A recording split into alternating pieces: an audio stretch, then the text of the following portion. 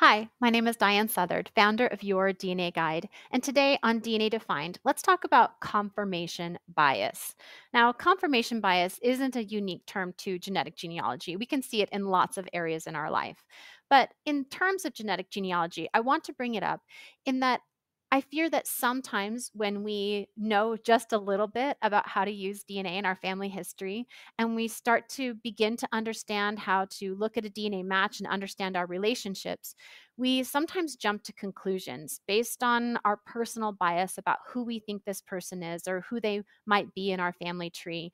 And instead of doing some better research, some due diligence research, we jump to conclusions and we think that a certain DNA match confirms a relationship in our family tree when it really doesn't.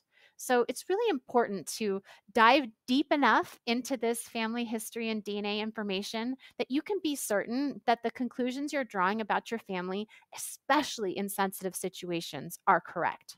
So, if you need some help with that, please visit us. Visit yourdnaguide.com. We've got lots of resources for you to continue learning.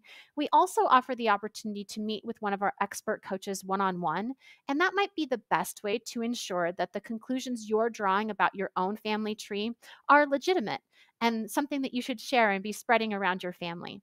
So, we're here to help you. We want to make sure your DNA journey is successful and accurate. So, thanks for joining us on DNA Defined. And as always, make sure you're subscribing so that you can get more tips like this in the future.